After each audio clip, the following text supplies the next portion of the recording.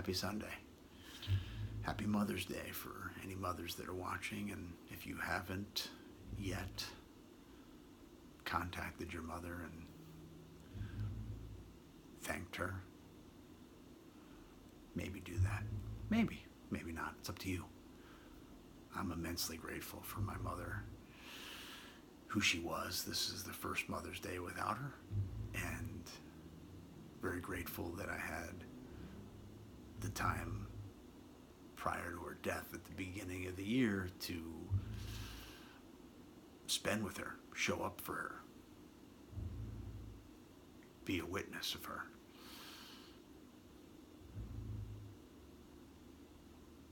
I don't know what motherhood will ever be like.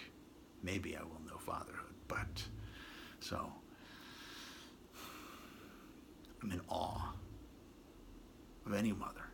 Just I think it's a it's a beautiful thing. And they don't get enough credit. It's a tough job. I know I was a handful and a half.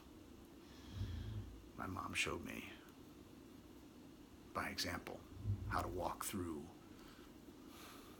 so much with courage and tenacity and wit and love and compassion. So I'm eternally grateful for that example.